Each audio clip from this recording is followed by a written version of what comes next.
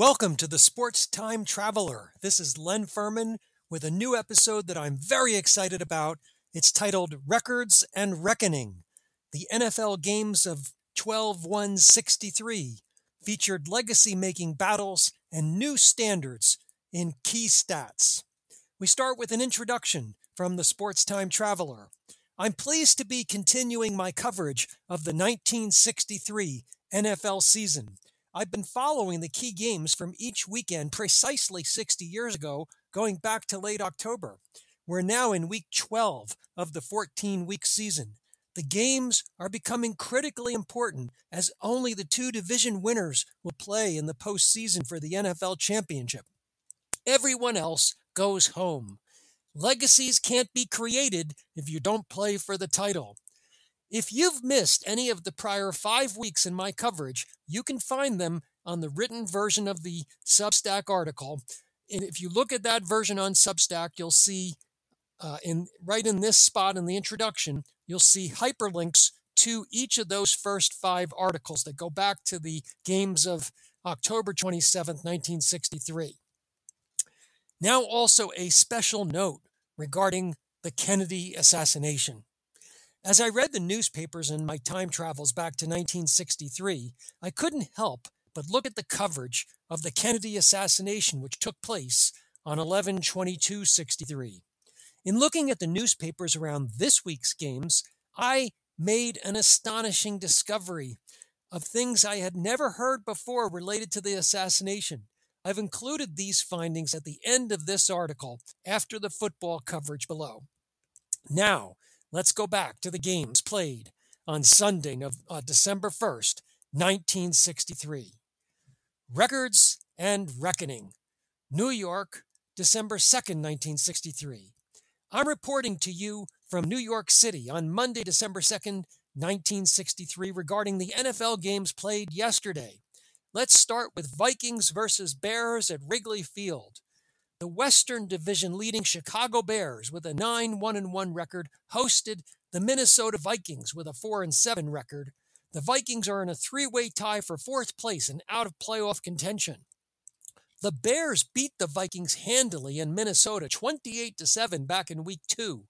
But now things are different. We're getting to crunch time. The Bears hold a slim half game lead on the two time defending NFL champion Packers, who are 9 2 1 the Packers tied the Lions on Thanksgiving Day. For the Bears, who have not won the division since 1956, this week's game is a reckoning. It's a grand opportunity to take clear command of the division. After the Bears beat the Packers for the second time this season, two weeks ago, 26 to 7, it was looking like the Bears might just cruise to the division title. Then the Bears went to Pittsburgh, where they could only manage a 17 all tie in the strange environment that pervaded across the NFL when all teams were ordered by the league to play their scheduled games just 48 hours after President Kennedy had been killed. Now back home, the Bears need to reestablish their ground against this much weaker opponent. Now you can see the highlights from this game.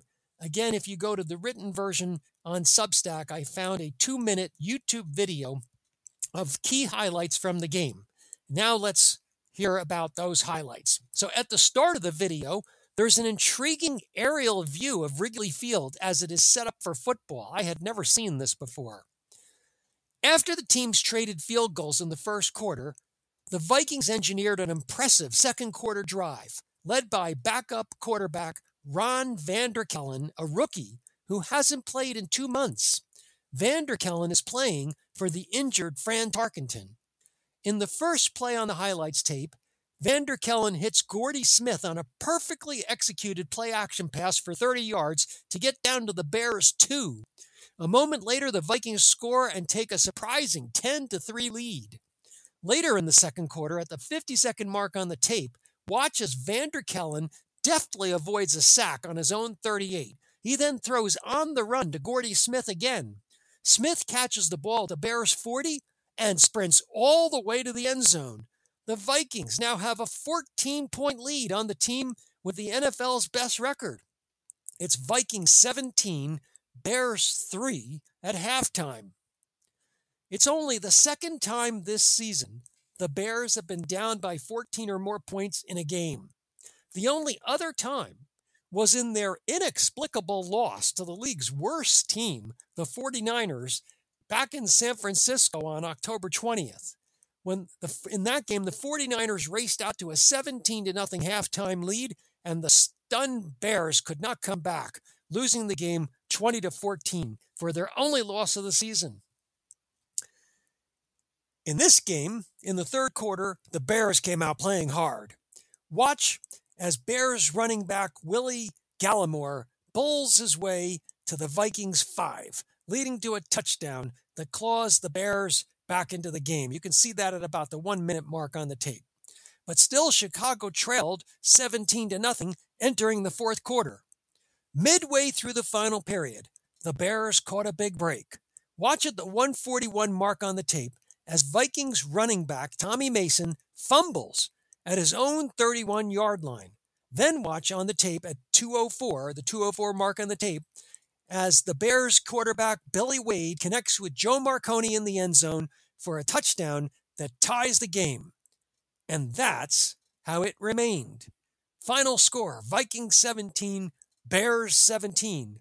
The Bears have now played to a 17 all tie in two consecutive games. Had they won, the Bears would have been one and a half games up on the Packers with just two to play. With the tie, they still retain sole possession of first place, but their lead over the Packers, the two time defending champions, is just a half a game with two games remaining. The Bears, however, do have the tiebreaker over the Packers if it comes to that, as they beat the Packers in both of their meetings this year. Now, let's move south to Dallas, where the Giants were visiting the Cowboys at the Cotton Bowl. This was the first game to be played in Dallas since the assassination took place here nine days earlier.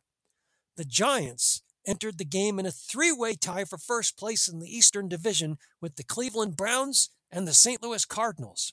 A victory over the 3 and 8 Cowboys is necessary for the Giants to have a strong chance of claiming the Eastern title. The Giants have won the title in four of the past five years, but they've lost the NFL championship game each time.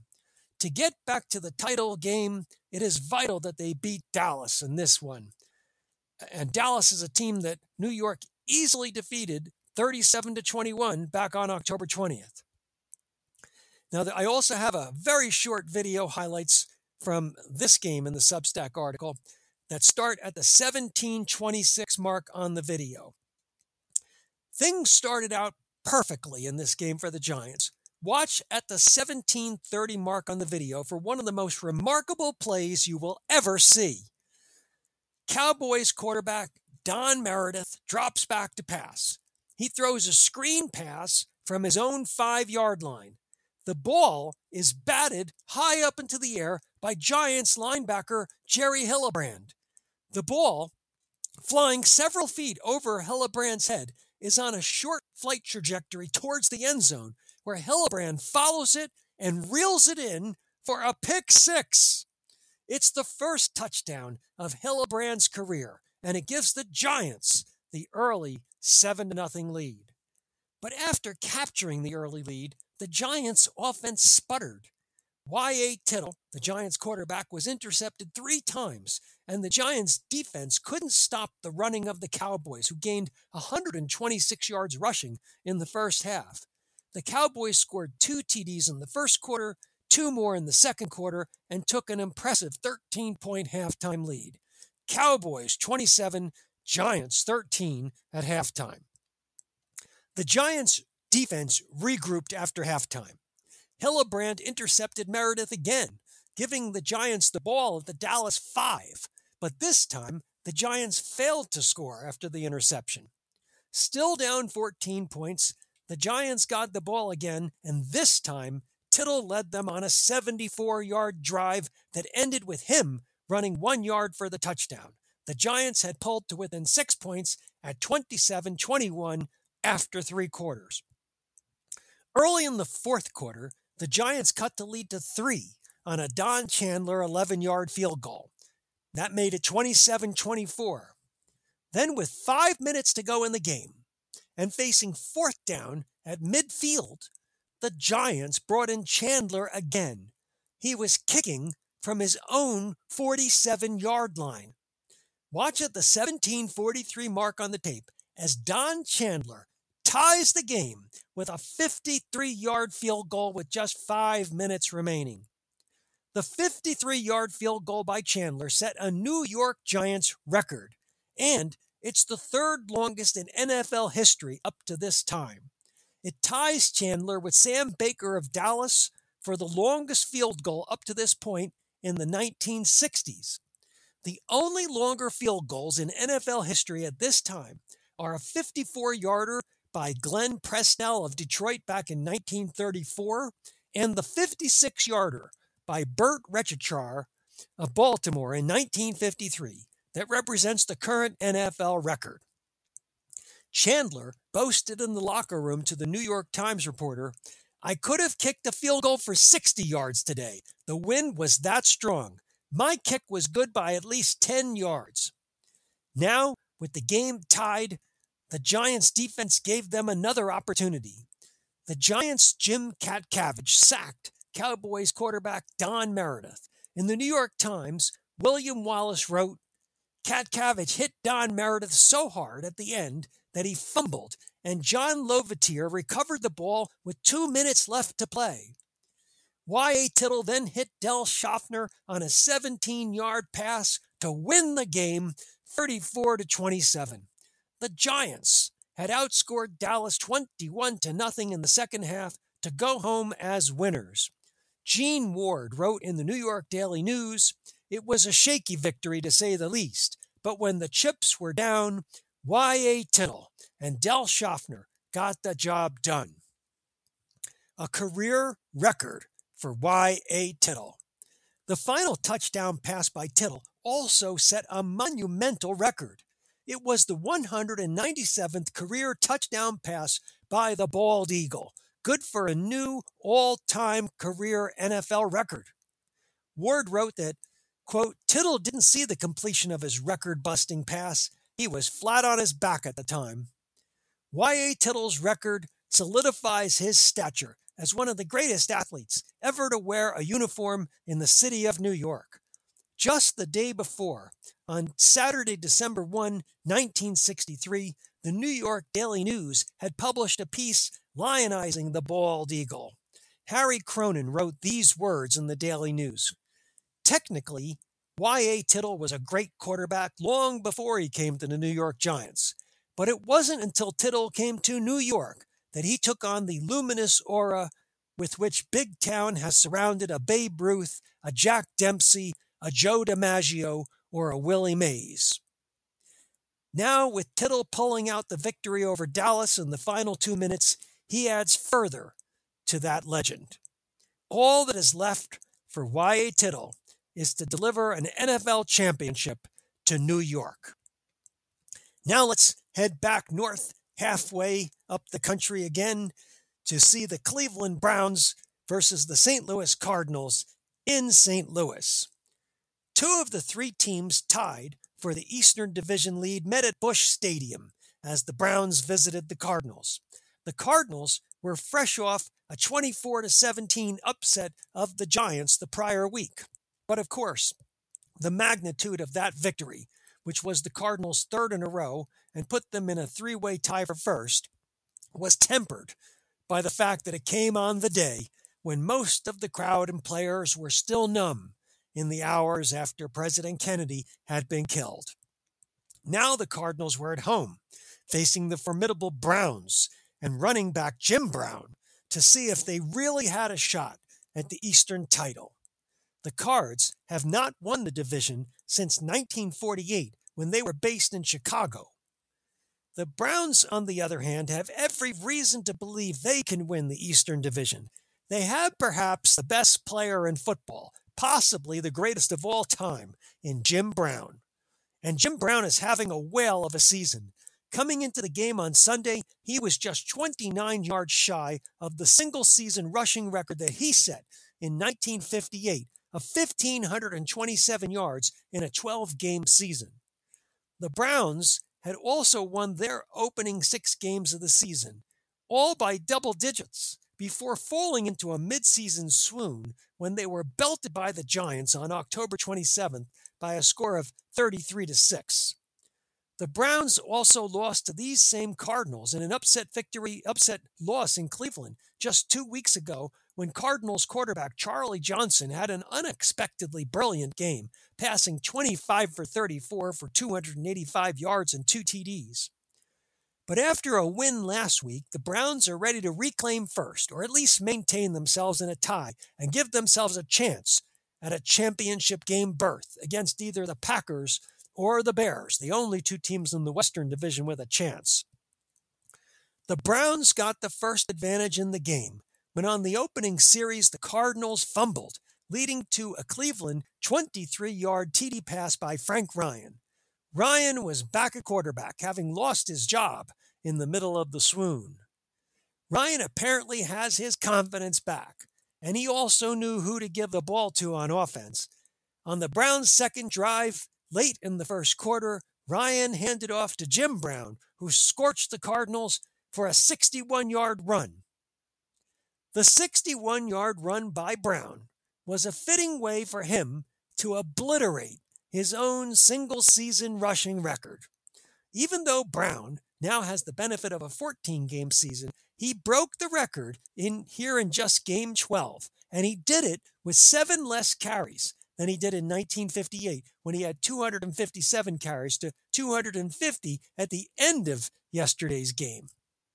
Unfortunately, the Browns couldn't take advantage of Jim Brown's run as the Cardinals intercepted Frank Ryan to end the scoring threat. But on the next two drives, the Browns could not be stopped. Ryan connected on a 49 yard pass that set up a Jim Brown TD run, and then Ryan led a 73 yard 12 play drive that included a 33 yard pass and ended the same way, with Jim Brown crossing the goal line.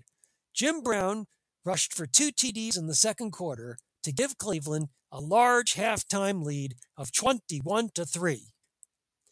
The Browns played ball control in the second half, trading touchdowns with the Cardinals as they went on to win the game 24 to 10.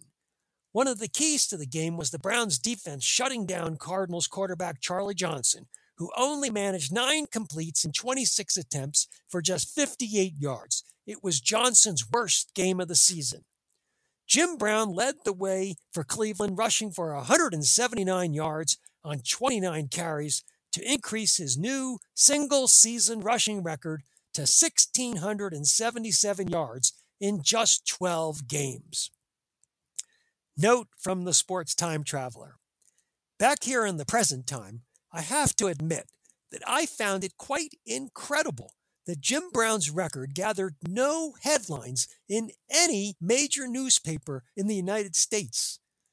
And sadly, there is no video of Brown's 61 yard dash in the first quarter. That run is what set the new single season record.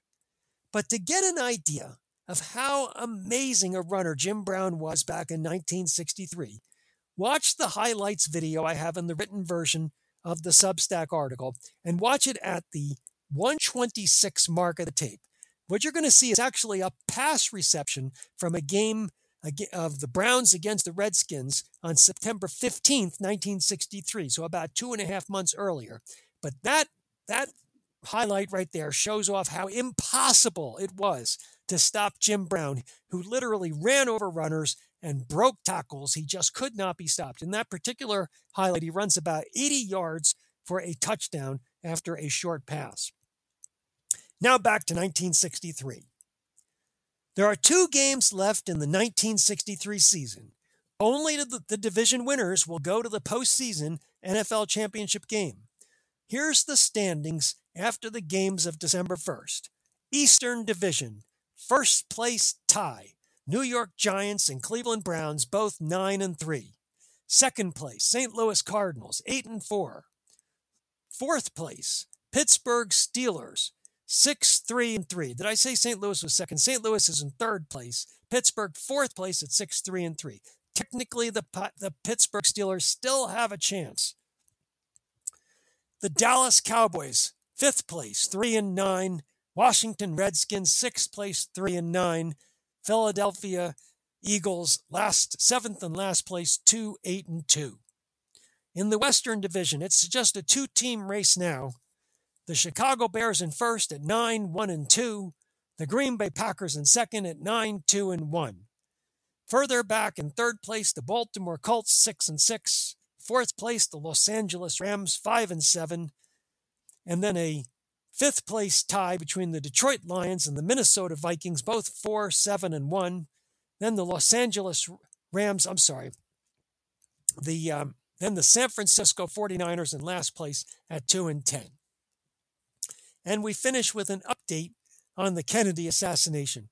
As I followed the games of December 1, 1963, I came across some astonishing findings related to the Kennedy assassination that I have never heard before. In a special to the New York Times on December 2, 1963, a story appeared about Lee Harvey Oswald's mother, Marguerite Oswald. Mrs. Oswald, who was a nurse, had some pointed questions for which she insisted the public needs to know the answers. She asked why was not this man a defector under complete surveillance? Speaking about her son, Lee, Harvey Oswald, who had defected to the Soviet Union and returned to the United States. And secondly, she asked, why would a known underworld character, she's referring to Jack Ruby, be allowed within a few feet of a prisoner, of any prisoner? These are excellent questions in light of the fact that Oswald was a well-known defector and Ruby was, a well, was well known as having mafia ties. In my sports time travels, early, I came across an earlier article last year about Lee Harvey Oswald that appeared in newspapers across America in June 1962, over a year before the assassination. Oswald at that time had come back from living in the Soviet Union, and the AP story started out with this sentence a former United States Marine who defected to the Soviet Union is on his way home. Lee Harvey Oswald, 24, of Fort Worth, Texas, is taking his Russian wife and infant child along with him. Marguerite Oswald was correct in assessing that federal officials should have been tracking the whereabouts of Lee Harvey Oswald given the 15 minutes of national fame he already had garnered in 1962. Marguerite seemed bitter in the article as she suggested that if the federal agencies had done their job in keeping tabs on her son, he wouldn't have had the chance to kill Kennedy or be involved in some way. And Marguerite wasn't the only one suggesting that Jack Ruby's access to kill her son was highly suspicious. Dorothy Kilgallen, the nationally syndicated columnist and panelist on the hit TV show What's My Line, used her daily Voice of Broadway newspaper column to weigh in on the Kennedy assassination. On November 29, 1963, in her nationally syndicated column, Dorothy Kilgallen wrote this If Lee Harvey Oswald was President Kennedy's assassin, he was the most important prisoner the police of this country had in custody in 100 years and no blithe announcement in Dallas is going to satisfy the American public that the case is closed. I'd like to know how, in a big, smart town like Dallas, a man like Jack Ruby, operator of a striptease honky tonk, could stroll in and out of police headquarters as if it were a health club at a time when a small army of law enforcers were keeping a tight security guard on Oswald. That was the quote from Dorothy Kilgallen. Now, coming back to Marguerite Oswald, she had one more interesting thing to share with the New York Times in the December 2nd, 1963 article. The article contained this passage about Mrs. Oswald. Quote, she insisted that on the night of November 23rd, about 17 hours before Ruby shot her son, an agent from the FBI showed her Jack Ruby's photograph. Mrs. Oswald, contended that the episode, as she described it, indicated that authorities had advanced knowledge that Ruby might attempt to kill Oswald. The article then went on to include this quote, The FBI would officially make no comment on Mrs. Oswald's charge. It was understood, however, that federal agencies had acknowledged that she had been shown a photograph that night for identification, but spokesman would not disclose whether it was that of Ruby. End quote. Now, I am not purporting to try and solve the mystery of the Kennedy assassination, which has been a subject of great inquiry for 60 years. But as a curious consumer of the assassination conspiracy theories, I can tell you that I've never come across this statement by Marguerite, Marguerite Oswald before, and it really makes me wonder. Final note from the Sports Time Traveler. Thanks for reading this edition of the Sports Time Traveler. Coming soon will be the games from week 13 of the 1963 NFL season.